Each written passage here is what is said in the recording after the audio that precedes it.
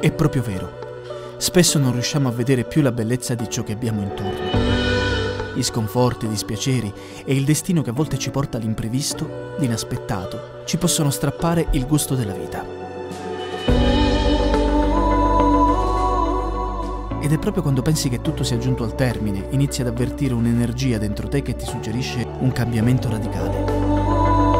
Come tanti settori, anche i ristoratori hanno subito un danno economico irreparabile e dovranno pazientare ancora fino a quando questo maledetto virus non comincia a rallentare la sua corsa. Nella vita bisogna abituarsi agli imprevisti ed alle novità. Il caso, il destino e la fortuna giocano un ruolo fondamentale in questi casi. L'arrivo in Italia del coronavirus ha portato un enorme cambiamento nella vita di tutti noi.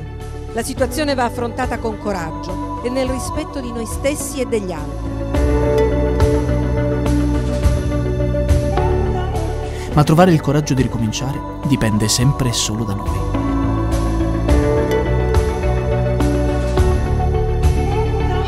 Restare in casa è uno dei punti chiave per limitare il diffondersi di questo nemico invisibile. I dati della settimana appena conclusa, elaborati dall'Ufficio Statistica del Comune di Agrigento, mostrano segnali di miglioramento della pandemia in Sicilia. Da poco è arrivata la notizia di una probabile riapertura dei ristoranti, segnata per il 17 maggio.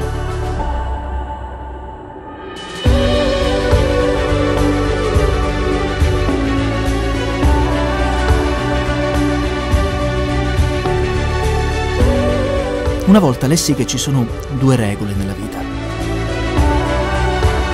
La prima è non mollare mai, la seconda e non dimenticare mai la regola numero uno. Questo è il tempo di rialzarsi, rimboccarsi le maniche, dell'importanza di ritrovare un abbraccio, di guardarsi negli occhi, di ritornare a vivere.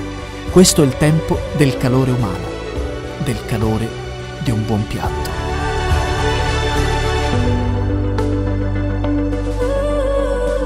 Pochi sanno che la parmigiana di pesce spada è un piatto tipico siciliano fatto con il pesce spada del Mediterraneo, con il pomodoro dei nostri campi e la colatura di provola affumicata, il meraviglioso pistacchio di raffadali e un po' di scaglie di mandorle. Parmigiana di pesce spada. Le persone credono a ciò che desiderano. Solo in Sicilia.